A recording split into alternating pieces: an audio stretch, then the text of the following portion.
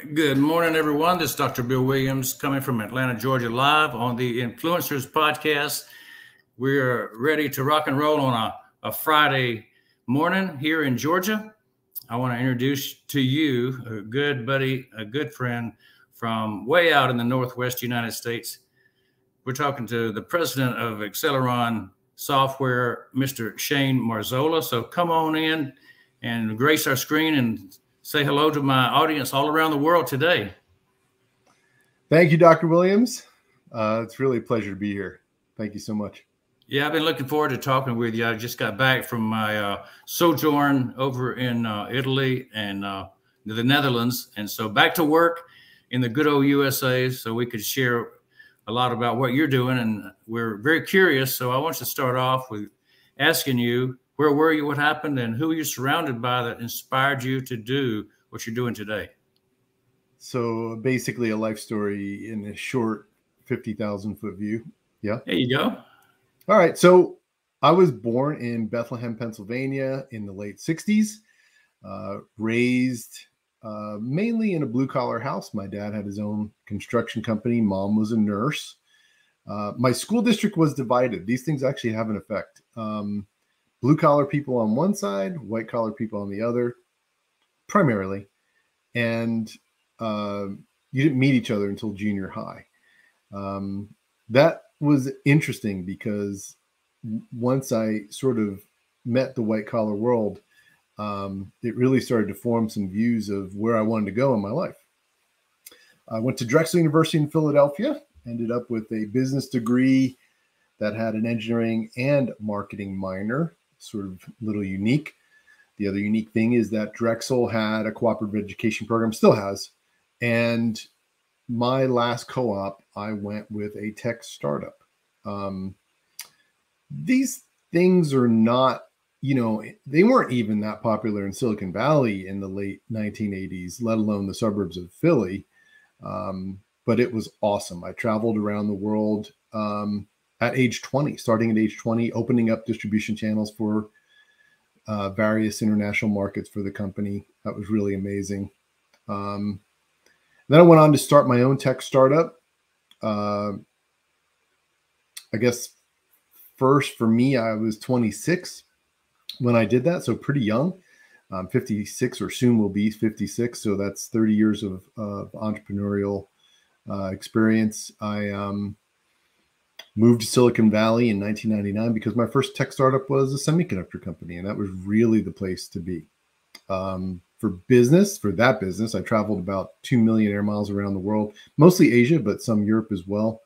Um, that was uh, really helpful in forming a lot of my base um, experience. Uh, along the way, I surrounded myself by some uh, amazing mentors, really, really amazing. Um, they helped me form my business style, my corporate culture style, and uh, in general kept a rudder on my on my proverbial ship. I think the inflection point for my business uh, life, absolutely, that startup as a co-op um, out of Drexel University, and I, am still friends with the CEO and the VP of Sales there. Uh, still keep in touch with them, not you know every month or anything like that, but uh, we definitely connect here and there, and uh, I just really value the the experience that they that they gave me. Sean, you're obviously a very successful businessman. You've started things that proved to be successful. I'll bet you there was something in your life that didn't work out. So let's come down to earth and show the people how real you are. Tell us what your greatest failure story was, what you learned, and how did you recover from it? So, in business, specifically entrepreneurial endeavors, um, I definitely am always, when I'm mentoring other entrepreneurs or fellow entrepreneurs, I'm always making sure everyone knows you learn way more from your failures than you do your mistakes. So, embrace that when it happens. Not saying you want to wish it to happen, but it, it, it, it does happen. And so, the three for me, um, I think first don't don't fall in love with yourself. Um, check your ego. Uh, you, it, this is a slippery slope though, because while you may be doing things um, that are really special, you probably are going to do that for a limited time. Nothing lasts forever. So check your ego. Uh, two, even if so, you're going to have co-founders probably, and and you're going to be loyal to them. Um, however, you cannot allow you cannot allow co-founders even to be skating to not being accountable to not performing to not be impacting the business. You just can't do it. Um, and and you need to not be delayed in how you handle that. And it's possible that you you need to move on from them um, in your business. Um, and that's a tough one but it's really important. And the last one is is fear of pivot don't be afraid to pivot um, there are sometimes like my very first company that i started I, it was a hardware company and we were building a piece of hardware. In doing that, we built a custom chip to make it work. Well, it turns out that that custom chip we made was the bigger market opportunity than the actual piece of hardware. This was a massive pivot, though, because I'd already raised some capital based on being a hardware company. So, um, luckily, I was young and um, not afraid. Uh, so I just did it. But that was a tough one. That was a tough one. That's sage advice, and I think our listeners can identify quite nicely with some of that. I know in my uh, business career, we had to jettison some founders, co-founders from some of our teaching groups that we had, and improve our stock, as you say, to to meet the current needs. You know, you can't stay with the things you started with in times when you get out of date. Yeah, it happens uh, on occasion. I like what you're saying. Tell me what motivates you, Sean, to uh, keep going after success, after success, after success. Well, uh, I think, I think if you're built like an entrepreneur, you want to keep being an entrepreneur. So it, I think you could say it becomes a bit addictive. Um, it is also exhausting. So mm-hmm. you you do you do want to sort of throttle that a bit, but it you you get to pick opportunities a little bit easier mm-hmm. as you as you age and, and have more experience and you also get to juggle more things so you can do multiple ventures at one time um, and for some of us that's actually better for our productivity than focusing on just one thing. And that sort of smacks against the norm. Um, and also the norm is what is taught. But you know entrepreneurs are a special class. I mean it's it's sort of hard for me to say that out loud because it, it, sounds like boasting but it, it is. It's a special class of people. Not everybody is built for that.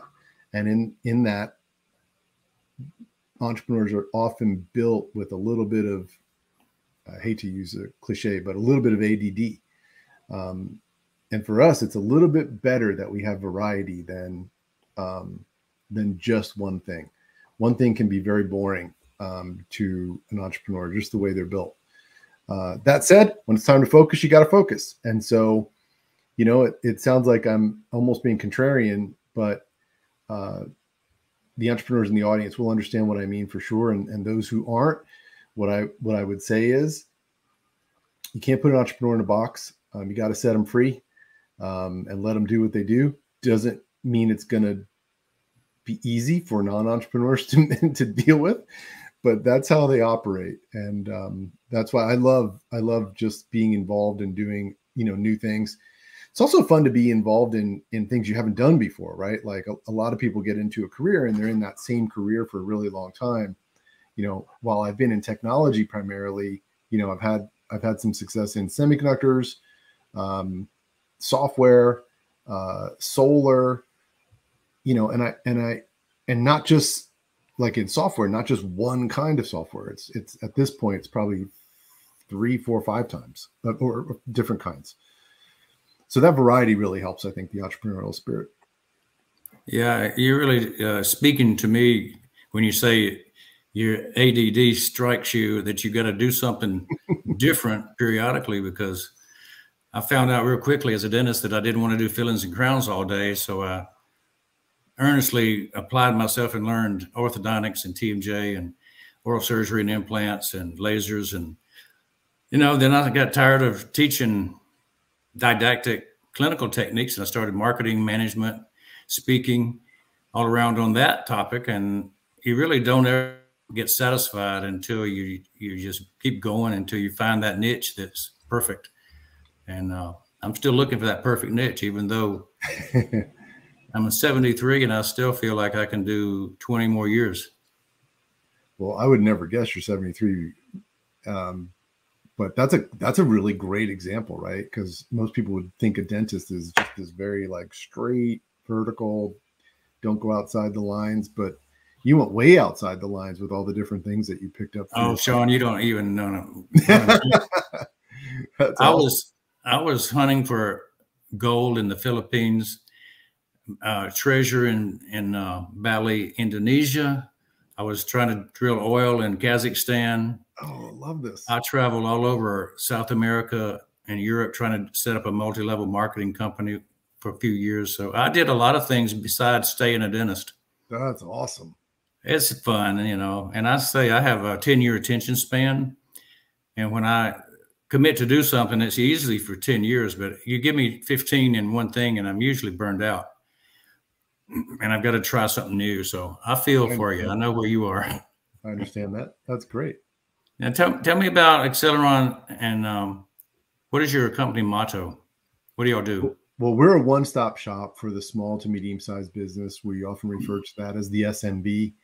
Um, ultimately, we we are a software company, but you can come to us and we can help you figure out your liability insurance. We can help you figure out cash flow. Um, it's possible that you're struggling with recruiting. Um, maybe you need some business coaching. Maybe you want to put your business on a track to be acquired because you don't have a succession plan within your uh, organization or your family. Um, so we can help you with all those things. Since we're seasoned uh, entrepreneurs and business folks, um, there's really not much that we haven't tackled. Again, we're a software company, and ultimately we're selling software at some point. Um, but we're here to help the the small to medium sized business and really fits into three buckets do you you know increase your revenue decrease your costs or improve your operational efficiencies somewhere in there or all three we're, we're going to help you and we're going to impact your your company yeah i studied under brad sugars and five point business chassis exactly what you just explained if you increase the funnel and things going through it and get better conversions, have better price points, you're going to make a success out of any company. Yes, definitely. Tell me your three success secrets. What do you uh, teach others that they can model from? Uh, let's see. Um, three success secrets. You know, I think they would be disrupt is the first one wherever you can disrupt and and i don't mean to be the tasmanian devil or the you know the bull in the china closet so to speak but it's going to be hard to make an impact in businesses as an entrepreneur if you aren't disrupting at least in a business model or or pricing or or some form of disruption so i think that's the first one uh, the second one is is the giving up, right? It's not an option. Um, and it this one almost sounds like uh, like everyone says it maybe, but the degree to which you have to be committed is like maybe nothing else you you'll ever do in your life. Um, your commitment level has to be so strong, and it really sets the the tempo and the culture of your of your of your business. And even if you're just two or three people, the culture matters. It matters a lot. And I would say that that commitment level is is so critical. And then third for me was I surrounded myself by people who were better at the things I wasn't good at, better than me. And a lot of egos get in the way of that sometimes and you, you just have to reject that that that just can't be you got to know what you're capable of doing, what you're great at, what you know, what you, your impact on the business can be, and then you got to surround yourself by people who can fill in the rest, and they've got to be better than you at that. Every company I've seen that does that seems to be more successful. So you, you hit three big ones.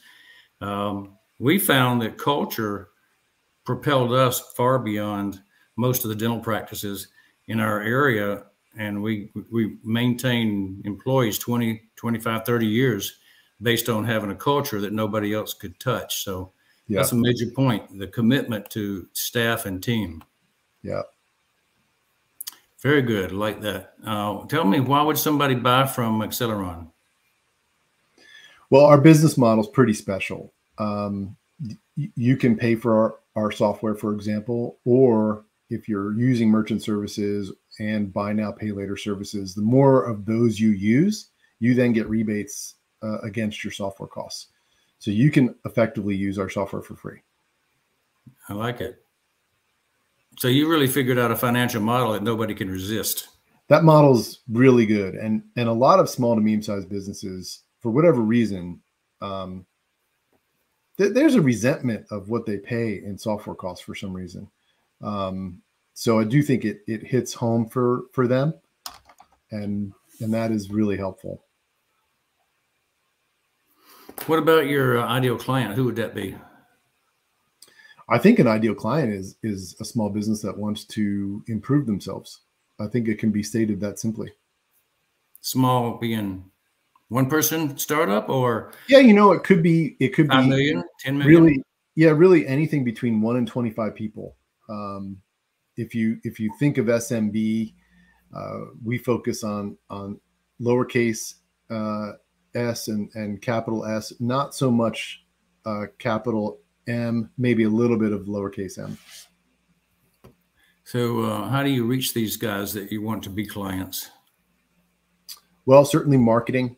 Um, you know, outbound marketing uh, in the form of um, uh, whether it's digital marketing, social media, uh, perhaps um, uh, advertising as well. And then um, uh, referrals are not uncommon at all for us. It's actually quite common. Um, we're also getting involved in um, Alignable, um, which is a really great platform for small businesses. There's 8 million small businesses uh, as part of Alignable, and they're growing dramatically. So we're uh, launching literally next month um, a very large scale um, involvement in Alignable. I'll have to learn more about that one. I don't know if I remember that one or not. You did mention your well-defined products and services software, and you you provide consulting also, do you?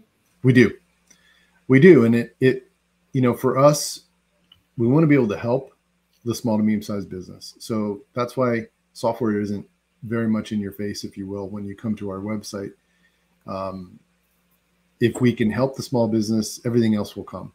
So our software products are really um,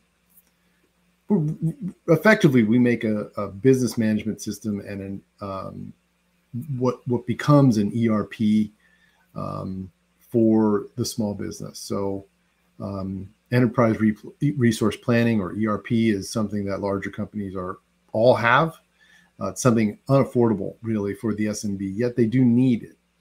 So we don't refer to it as an ERP, but it really is um, uh, a, a, system that can manage their entire business. It's unbelievably modular, so they can start small, build big. Let's say that they want to decrease in size later, that they can draw back on it. There's no penalties for that. Uh, again, very modular, and then the business model itself, I think, is is really excellent, right? So many companies are are using forms of of payment uh, that we can monetize that they're going to use no matter what, and that can get their software costs um, down as far as zero. Do you apply other uh, people's softwares into yours and like do patch quilt work to uh, enhance your particular services or offer people, you know, ways to plug in to what you already have? That's a great question. So, uh, while we want to do as much as we can organically, and, and we have our own organic software as as ingredients to that overall modular recipe, um, there are things that don't make sense to to build. Uh, they're much you'd much rather partner with. Like for example, for accounting, uh, we've been a QuickBooks integrator since 2006. Um, we became a QuickBooks solutions provider about a year and a bit ago, and so now um, not only are we integrated with QuickBooks and into its payroll program uh, and their time tracker, but uh, we can turn those products on and off and make them part of a package uh, from a pricing point of view. So that's a good example. Um, we recently acquired uh, the majority of a recruiting company, um, a, sorry, recruiting software uh, specifically built for the SMB. So in that case, it was a a buy versus make or partnering, then we're probably making it. But it it really is a uh, I would say a fairly intense undergoing to figure out what the right um, path is uh, for a piece of functionality within the modularity. Yeah, talking about competition, you, you mentioned your price point and the ability to get their cost down to zero if they use the other uh, financial products. What else do you do that would crush the competition? Yeah, great question as well. Uh, I don't think there's I don't think there's a software company that has all the different services that we have. I, I don't think there is one. Um, there certainly isn't one for the small to medium sized business sector. So that's probably point number one. And then point number two is that business model. It, it it gives you everything you want. If you want to just pay full price because you don't want any of the other services, that's fine. But if all those other services are attractive to you, um, and some of them you might already be paying for, so it's not a big deal. You're just switching to get a better price, then that could be attractive to you as well. So there's really, you know, I would say there's really there's not a personality type or a philosophy type that can't get what they want um, out of Xceleran. Have you had AI to be instituted into any of your products yet? I would say not so much yet. Um, that'll likely change um, as time marches on. Um, we're certainly using some AI internally to to be more efficient with our own business, but um, uh, at the moment we're cautious on where we put it into software. We want to see how it unfolds first. Are there online platforms that you're using that your company relies on to uh, to market yourself? Well, I, I naturally um, some of the social media platforms like LinkedIn, right? You, you, can find a lot of business people on LinkedIn, business owners, um, and here soon, Alignable. Um, again, you can't find eight million and growing. I mean, it's it's growing by a six figure number per month. So I'm I'm a big I'm a big believer in it. It reminds me of what LinkedIn, you know, so LinkedIn is kind of like the resume platform, if you will. Alignable, I would I would say is the is the is the business platform where where mm-hmm. business to business to business communications going on all the time.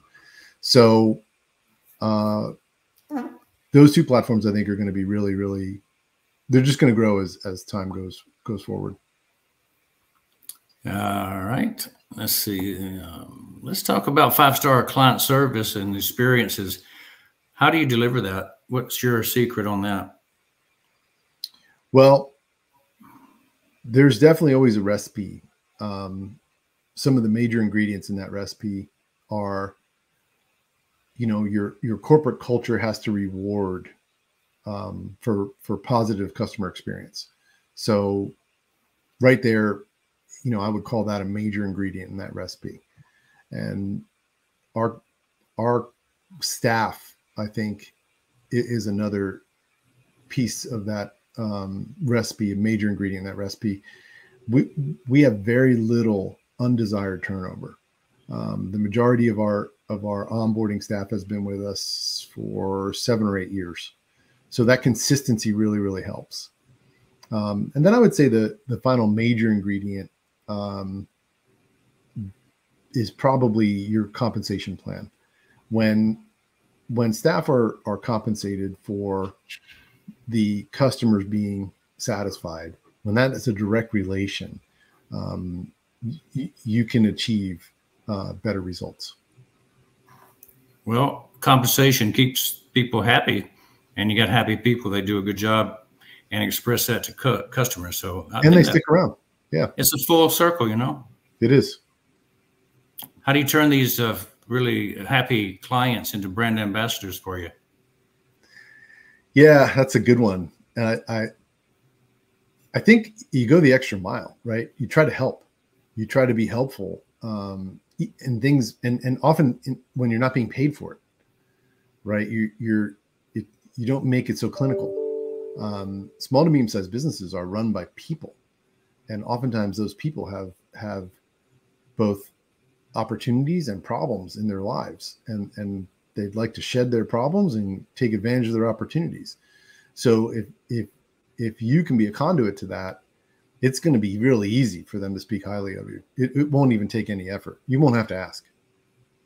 Excellent, excellent. What about today? What are you grateful for?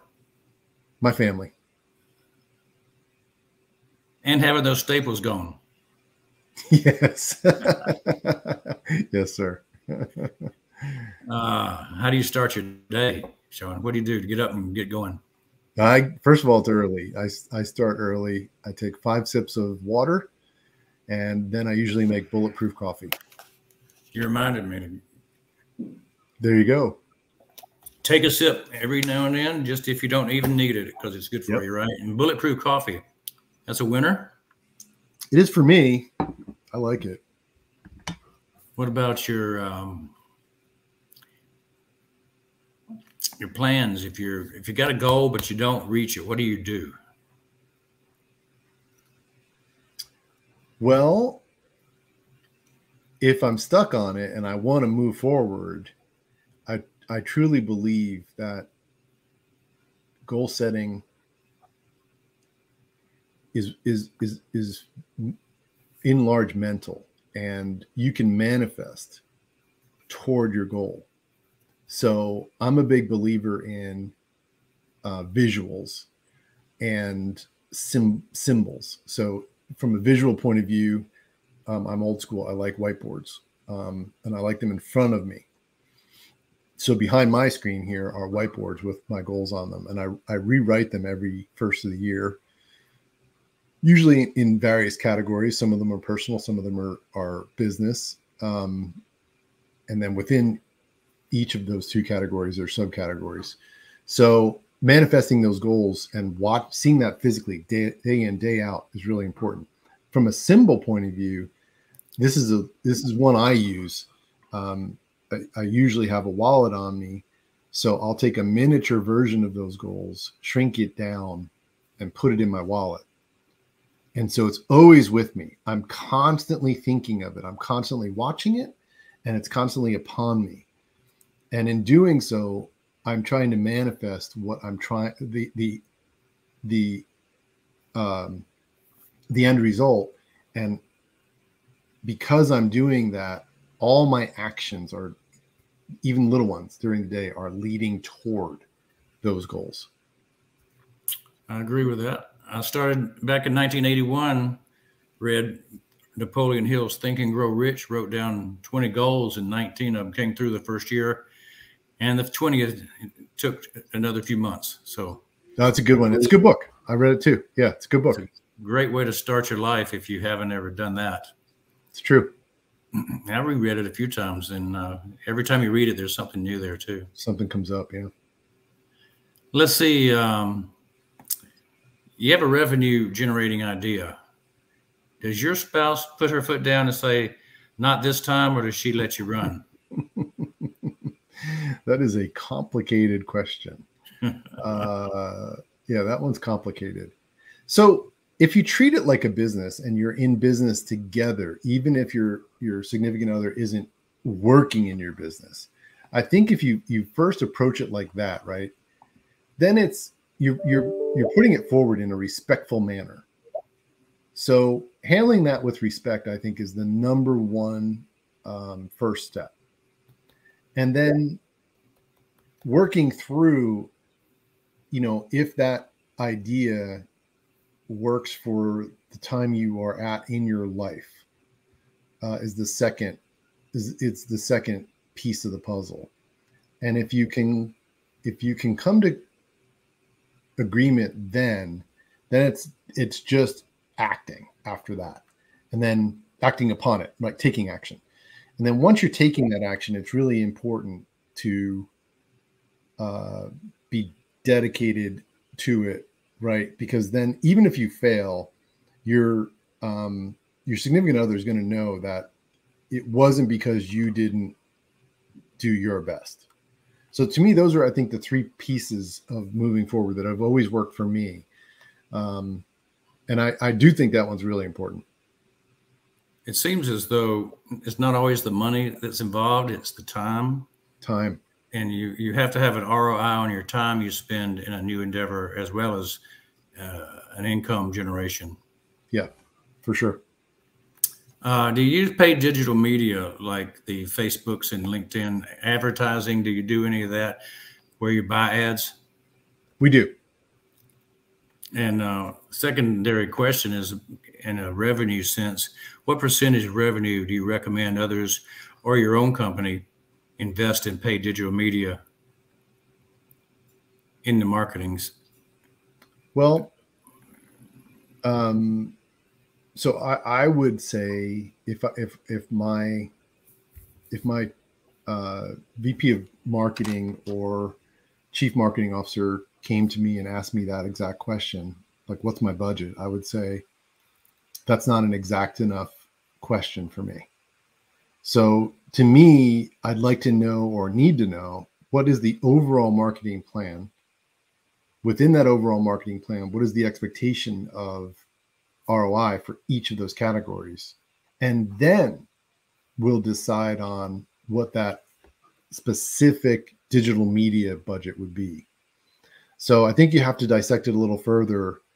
Um, and that might be the geek in me, that might be the minor in marketing, that might be just experience. I don't really know. I just, that's the only way I can do it. Um, I struggle to spend marketing dollars unless I'm dissecting it so that I can measure the performance in each area. If I can't measure the performance in each area, I'll, I'll, I'll probably pass on the marketing. That's the wisdom of maturity, having thrown a lot of dollars into a lot of holes. ROI. I know that. So yeah, yeah. One of the things that uh, we have done is uh, being able to save people 80, 90 percent on their digital ad spends, getting the same or better results. So That's always. I've been interested in asking that question because I know nobody can answer it and say they love to pay out that money dollars. they always want to say. Yep. Let's look at this question and think. Okay, I'm in my 50s now, but if I had to give advice to myself when I was 20 years old, what would I say? Uh, th- this one is very personal. I would say don't get married until you're more established. Uh, I got married young, and I started my first business young, and those things they don't they don't mesh very well. Uh, entrepreneurial life is hard on a family, can be. Um, so I would say you need to be more established before you you go ahead and start that start that family. What if you're a 50 year old entrepreneur still waiting to find that perfect woman? yeah, well, you know, you can apply, and I did actually. Uh, you can apply entrepreneurial uh, wisdom to your personal life, and um, you know, I'm happily married for a second time, 18 years this September, and I I mean, I couldn't be happier. Wonderful. Well, you speak from experience. Who is your living mentor and uh, how did they impact you? Your best mentor?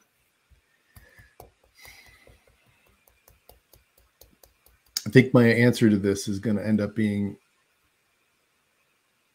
a tad unusual and possibly off putting. I don't have a living one. Um, and I think okay, so I, I started young and as and, and I had an enormous amount of amazing mentors. Often I could not afford to pay them. And in doing so, a lot of them said to me, It's okay. I'm giving back. I had help when I was your age. So it's your obligation to be helpful as you grow and you become a mentor. So I would say I spend more time mentoring than taking on mentorship. That doesn't mean I'm perfect or done learning. Um, but I've been doing this for 30 years here shortly. Um, I've got a birthday this weekend, in fact, and it'll be a 30 years since I've been an entrepreneur. Um, so if, if entrepreneur years are like dog years, what does that mean? I'm like 210 or something in, in, in mm-hmm. age. well, it's hard to find people once you do that that long that can be your good mentor. And I just haven't found a, I haven't found one yet where they're, they're in my living category. Sadly, I do have some that have passed that I would, I would phrase, but it, it's specifically the question is living mentor. But the main point I'm trying to make is I spend more time giving back and mentoring these days than obtaining mentorship. That's that's the wisdom again coming out in that you've passed the gauntlet from uh, being the mentee to being the mentor, and that's that's what we should all do as we experience life and we look around and see all the people below us in age, and we wish they knew what we knew. Yeah, it's it's it's it's true, really. Yeah, truly true. Tell us why do you want to be impactful, Sean? Well, I think I think it comes down to, you know, I kind of view it as it's an honor to be put here on earth. And you might as well get busy living you know, and I think there might even somebody might have even said that famous, you know, get busy living or get move on dying or something like that. And I, I just look at it like it's an honor to be here. So I'm to get after it. And I want to have an impact because it's fun. It's much more fun to have an impact than to just drone on and and and not. And even if you don't have an impact, but you're trying to have an impact, that's even way more fun than so I think that might come down to faith and uh, what I believe we're here to do. That'll take you to some pretty interesting places, that's for sure. Travel is one of the most uh, joyous things anyone can do because you meet the cultures, you taste the food, and you see the sights that are not your norm around where you live. Yeah. What do you want to be remembered for when it's all said and done? Helping people. Helping people is nothing better, no more rewarding situation than to be a helper, to be a, a provider of good things to people. So I agree with you. What about the um, way we can support you? Oh, that's a good question. Well, I, I, am actually starting a podcast for small businesses. Um, it's going to be called uh, Sensei Small Business Dojo Guiding Grasshoppers to Success. So that's going to start next month. And uh, if you want to tune in, that'd be great. I'll be doing some shorts on YouTube and and TikTok as well. Um, it's just going to be all about small business and helping small businesses. Tell us the name once again. Uh, small, let's see, Sensei Small Business Dojo, help guiding grasshoppers to success. There's a sort of a pun there from the, you know, early 70s Kung Fu show. Yeah. I know. Yeah. I've used, I, I use, I use it in my mentorship now. So. Sensei. Yeah. Now, how would you explain your guest appearance today to people? Oh, I, am having a blast. It's so much fun to, to chat with you. Uh, enjoy your questions. Uh, you've got a wonderful spirit about you. So, um, you know, whenever you get to meet interesting people, I mean, the things that you mentioned just briefly uh, are sort of intoxicating, right? You know, here's a dentist who decided to do all these different things so far from their core um, training. Uh, that's just awesome. You don't meet everybody like that every day. So Not thanks. Yeah, I had a plaque on my wall since the beginning. It said "Dare to be different." You did it, I think. A pack of uh, a, bushel of green apples with one red one in the center. so I've always enjoyed the contrarian point of view forever. Uh, I'm going to give you the final word, and then I'll come back and uh, close the show off and talk to you again in a few minutes. But uh, hey, give us your uh, advice or your wisdom. Well, I, I'm just a be- big believer, and this is probably repetitive, but I'm a big believer in, you know, trying to impact whatever you're doing and and living living to its fullest. That doesn't mean you have to be reckless, but just trying to be, you know, give it your all. Go go after it. Uh, don't you know be okay with norms. Um, norms aren't going to get you or your family anywhere. So, uh, in addition, I'd say I really appreciate your your audience. I really appreciate being here today. Uh, sort of humbled by it, and um, for those entrepreneurs in the audience, uh, fellow entrepreneurs, I'd say you know keep at it. Uh, can be really hard, but keep at it, and um, happy to help if anybody anybody needs it. All right, thank you, Sean. That was an excellent summary, and I'm glad that you're able to to join us today. It's been extremely interesting. I know our audience all around the world will be uh, sharing this, not just listening to it, but sharing it because of the wisdom displayed and the uh, advice given. I'm going to give a uh, couple of uh, testimonials here about things that you can do. People out there listening in the audience to uh, contact me. You can go to my digital business card at the OVU, and you can also take a picture of that uh, QR code, which is the same address as the OVU there. And you can reach me at the uh, place drbillwilliams.tv or my ONPASSIVE addresses. I have several. I want to really make you aware of this one thing. This is going to be, Sean, you might like this for your business. This Trackum address right here will take you to OTracker software, which tracks better and more thoroughly and more simply than uh, something like Google Analytics.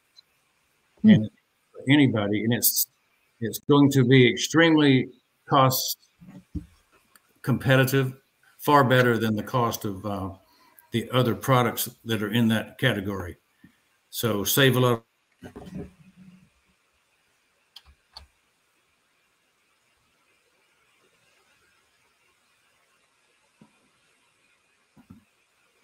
There it is. The overall way to reach me with all my data and all my podcast information, of course, is the uh, .tv, as we mentioned.